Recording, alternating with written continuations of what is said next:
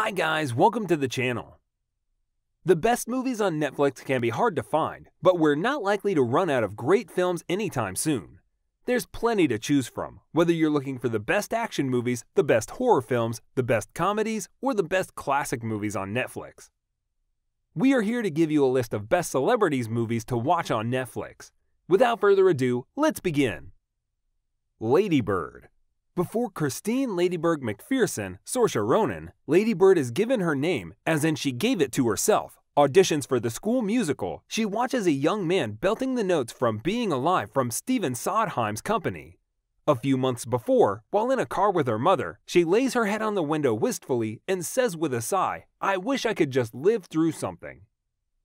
Stuck in Sacramento, where she thinks there's nothing to be offered her, while paying acute attention to everything her home does have to offer, Ladybird, and the film, written and directed by Greta Gerwig, that shares her name, has ambivalence running through her veins. What a perfect match, Stephen Sondheim and Greta Gerwig. Monty Python and the Holy Grail. It sucks that some of the shine has been taken off Holy Grail by its own overwhelming ubiquity. Nowadays, when we hear a flesh wound, a knee, or a huge tract of land, our first thoughts are often of having full scenes repeated to us by clueless, obsessive nerds. Or, in my case, of repeating full scenes to people as a clueless, obsessive nerd.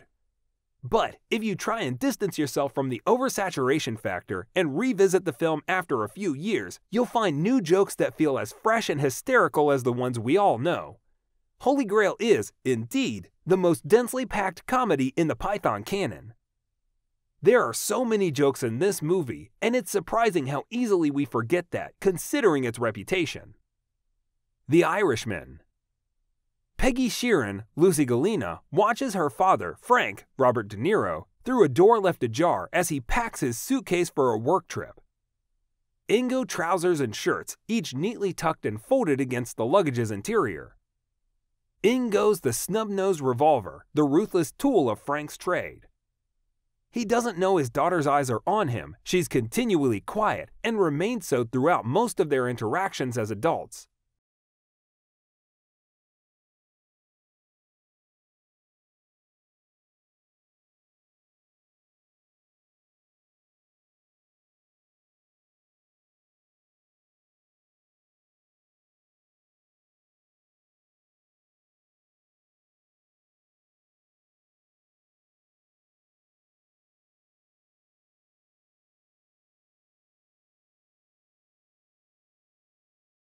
York's Diamond District, Howard Ratner, Adam Sandler, does well for himself and his family, though he can't help but gamble compulsively, owing his brother in law Aaron, Eric Bogosian, malevolently slimy, a substantial amount.